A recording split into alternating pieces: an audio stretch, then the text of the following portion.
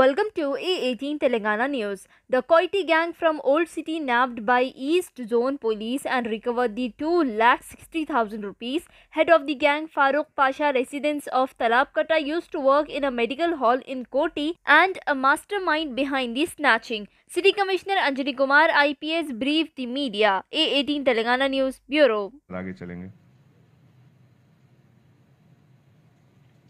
नमस्कार आज Hyderabad city police east zone task force के तरफ़ से एक नोटोरियस डेकोइटी गैंग का अरेस्ट हुआ और इस अरेस्ट के साथ two lakh sixty thousand rupees का कैश का रिकवरी भी हुआ, जिस और two bikes knife screwdriver और सेल फ़ोन इस गैंग के जो पाँच मेंबर मेंबर्स की गिरफ्तारी हुई उसमें Syed Farooq Pasha age 26 Aman Nagar Talab Katta Syed Fayaz Imran, alias Faizu age 25 Purani Haveli, Aamir Khan as 24 शाली बंडा, Mohammad Wasim age 25 Kala Pathar, Syed Abdul Qadar Hussain, alias Faisal age 21 Mughalpura and Sameer, जो अभी नामपल्ली का रहने वाला है, वो अभी एब्सकॉन्डिंग है।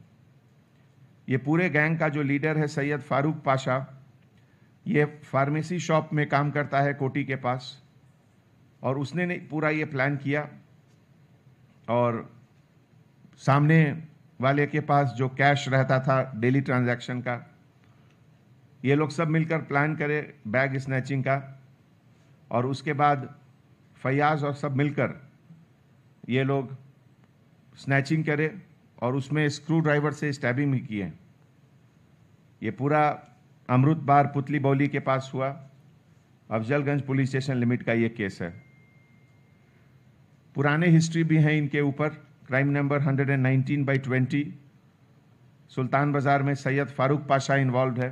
Crime number 35 by 12 attempt to murder case Mughalpura का। सैयद फयाज इसमें इन्वॉल्व है।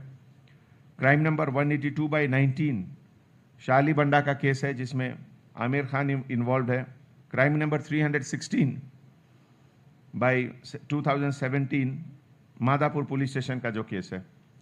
ये पूरे ऑपरेशन में हमारे additional DCP task force G Chakravarthi और उनके लीडरशिप में K Srinivas inspector of police east zone task force के Praveen Kumar detective inspector of police Afzalgunj SI Venkatesh Srinivas Reddy, Govind Swamy और टास्क फोर्स के पूरे officers जिनको इतने अच्छी काम के लिए सिटी पुलिस के तरफ़ से बहुत बहुत मुबारकबाद।